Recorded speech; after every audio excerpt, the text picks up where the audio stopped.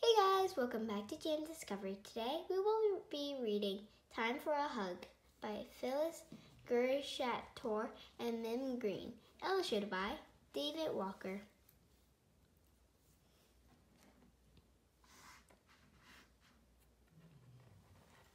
Wake up, wake up, the day is new. The clock says eight.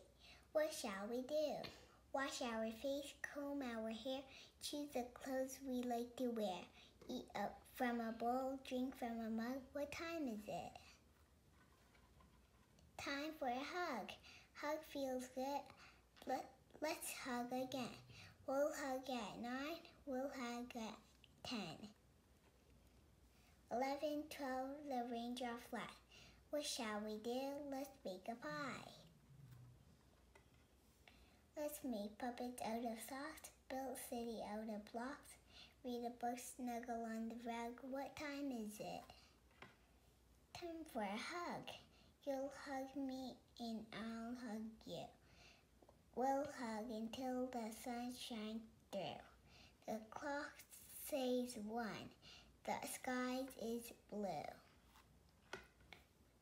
Two o'clock, three o'clock, what shall we do? Bounce a ball, ride a bike, climb a tree, go on a hike, smell the flower, chase a bug. What time is it? Time for a hug. Four, five, six is getting late. Soon it'll be seven, eight. The moon comes up, the stars shine too. The clock says eight. What shall we do?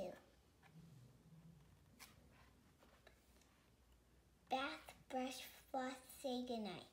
Hop off to bite bed, turn off the light. Pull off the covers, warm and snug. What time is it? Time for a hug. Big bear hug and a little hug too. Every hug says, I love you.